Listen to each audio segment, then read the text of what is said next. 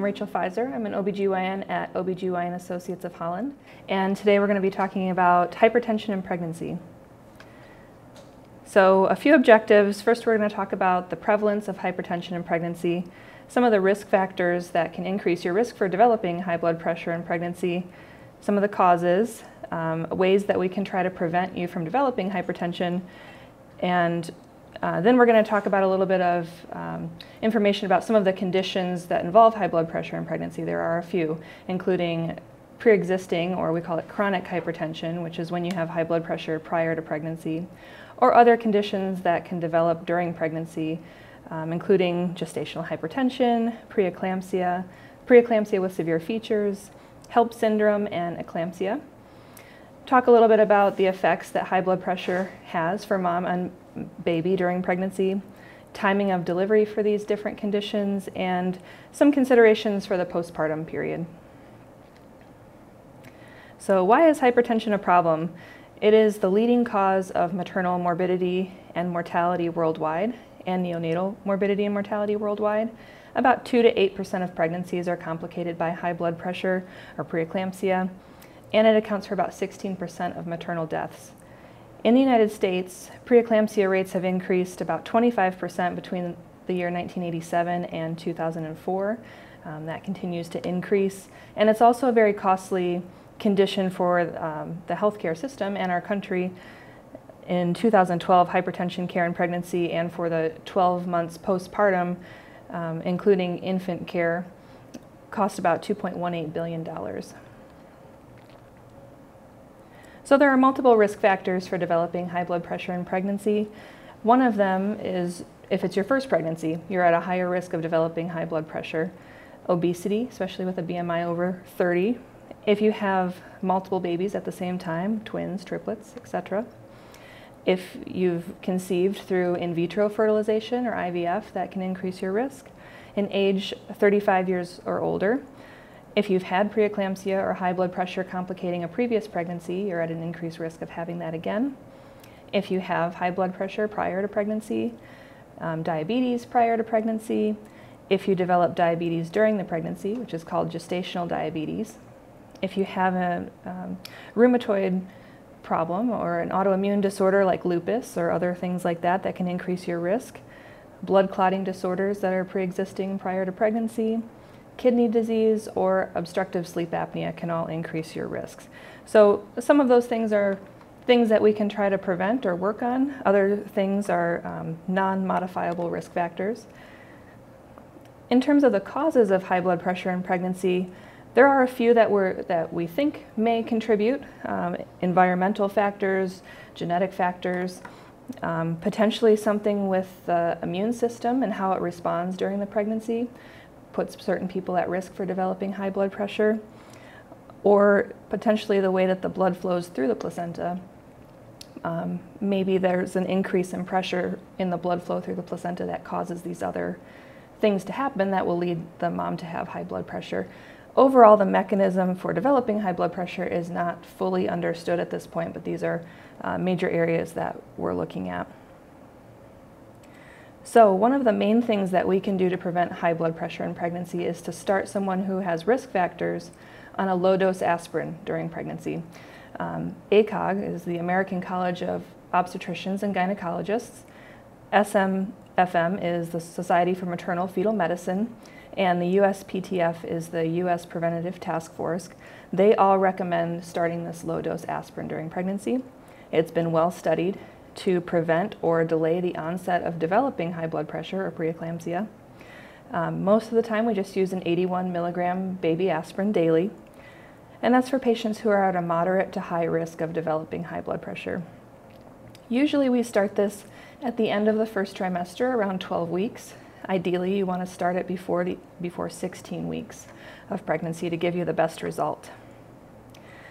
So I've included a chart here. This is from ACOG, the American College of Obstetricians and Gynecologists. This is um, stratifying the different risks of who may be, uh, who may benefit from starting a low-dose aspirin. So it groups these risks into high risk, moderate risk, and low risk. And this is how we determine if a patient needs to be on aspirin or not during the pregnancy. So a lot of these things are things that I mentioned in terms of risk factors for developing high blood pressure, like a history of preeclampsia, um, having twins or triplets or multiple babies at the same time, a history of high blood pressure prior to pregnancy, diabetes, those sorts of things puts you in that high risk category. Um, moderate risk factors, usually if you have two or more of these, that's when we would consider starting an aspirin. So those are things like this is your first pregnancy, um, obesity, a family history of preeclampsia, those types of things. If you've had a previous uncomplicated delivery, then usually we don't put you on an aspirin. So chronic hypertension, we, we touched on this a little bit. That means that you have high blood pressure existing before pregnancy. It can also mean that you develop high blood pressure during your pregnancy before 20 weeks gestation. Or if you develop hypertension or high blood pressure during pregnancy and then it does not go away after you deliver, usually within that six weeks postpartum, that can also be considered chronic hypertension. The way we diagnose chronic hypertension is with a blood pressure reading of greater than 140 for the top number, or systolic blood pressure, or greater than or equal to 90 for the bottom number on your blood pressure or diastolic pressure. We have to have those on two separate occasions, more than four hours apart, to give you that diagnosis.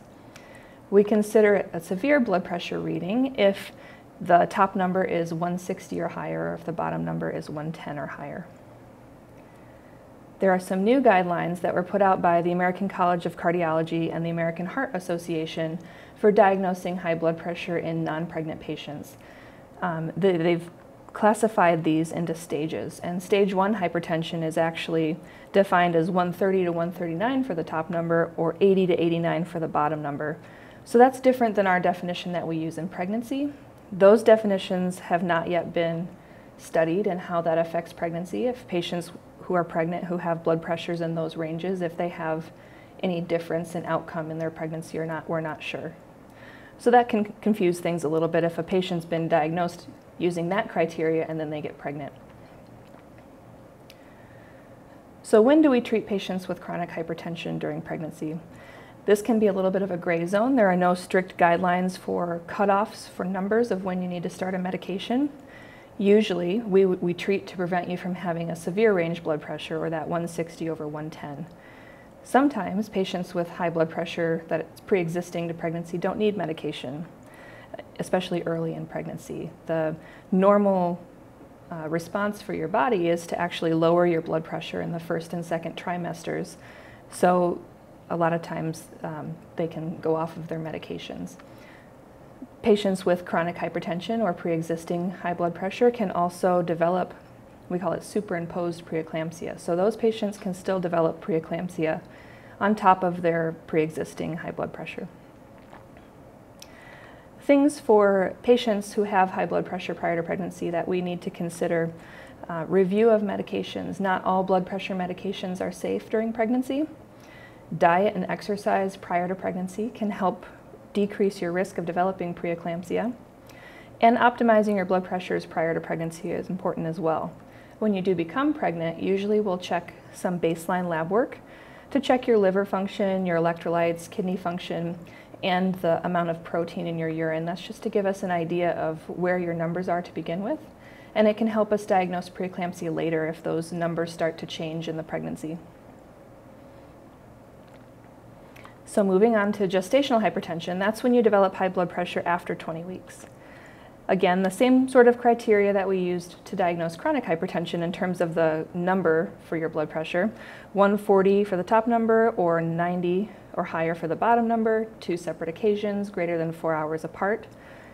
No lab abnormalities with those labs that I mentioned before or symptoms of preeclampsia. It's important to know that up to 50% of these women will go on to develop preeclampsia. I think of it like a spectrum, um, with gestational hypertension at the lower end of the spectrum. Some signs and symptoms of preeclampsia would be headaches, especially if they don't go away with pain medication, changes in your vision, like blurry vision, flashes of light, dark spots in your vision, pain in the right upper abdomen under your rib cage, trouble breathing, nausea, vomiting, especially if that got better for you early in pregnancy and then it returns in the third trimester, or sudden weight gain, sudden swelling in your face, hands, or feet, or sometimes I just have patients come in and they say that they don't feel well. And we check those labs and check their blood pressure and find out that they have preeclampsia. So diagnosing preeclampsia, again, same sort of cutoff for the blood pressure, um, but for this, usually we also see protein in your urine. So that's why we check a urine sample to check for that. If there's no protein in the urine, we can still diagnose you with preeclampsia if there are other changes in your lab work, like elevated liver enzymes, um, lower platelets. Platelets are the part of your blood that help your blood clot. Sometimes that can drop during preeclampsia.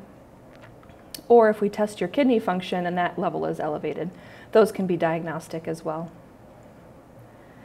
And then the next step up from that is something called preeclampsia with severe features.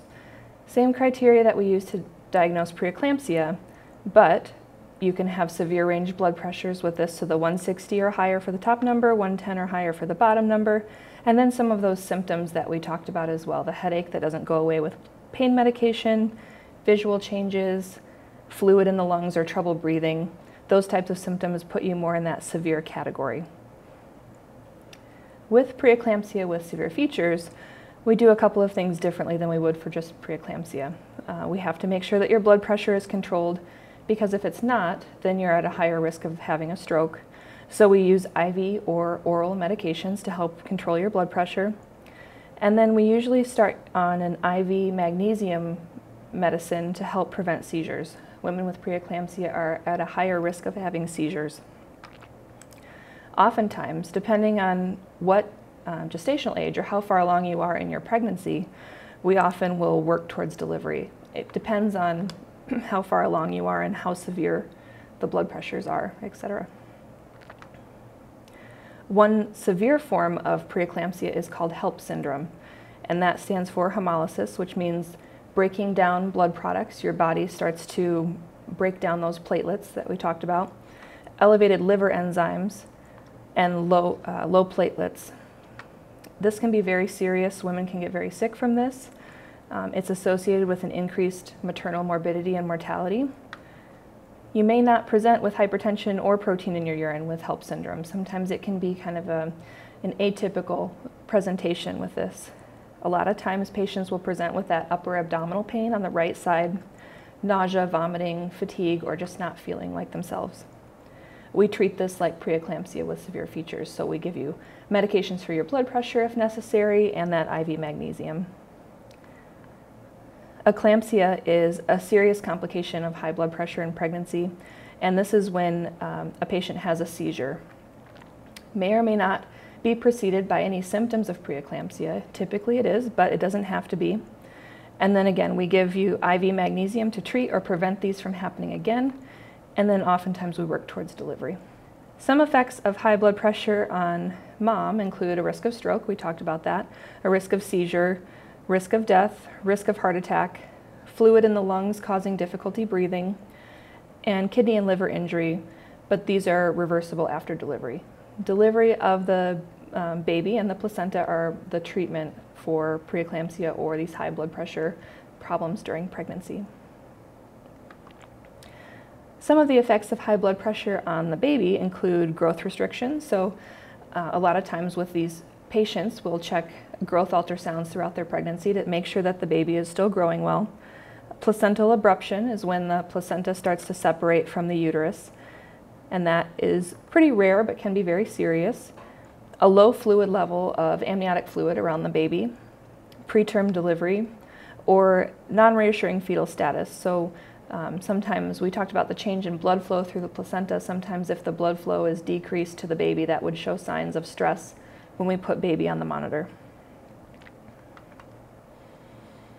In terms of timing of delivery, it's very dependent on what type of hypertension uh, or which classification of high blood pressure you have during pregnancy, if your blood pressures are well controlled or not, um, how many weeks along you are, those types of things. So we don't have to go through the details of this, but it, I just wanted to highlight that the timing of delivery may change based on how severe the blood pressures are or um, different things that are developing. Usually the more severe the blood pressure, the earlier we get you delivered.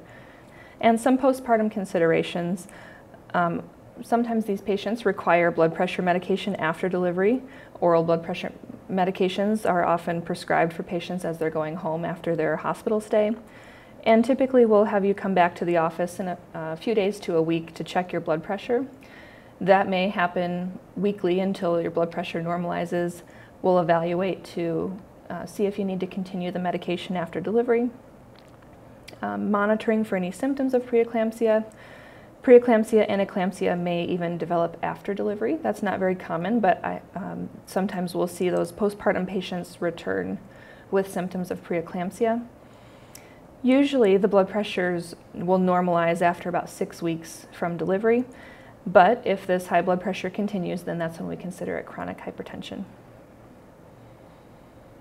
So a few take-home points. If you have pre-existing high blood pressure and you're considering pregnancy, it's important to contact your doctor prior to becoming pregnant or early in pregnancy to go through your blood pressure medications, make sure that they're the appropriate ones for, for pregnancy, um, and other ways to try to optimize your care. The earlier you can get in to see your doctor, the better.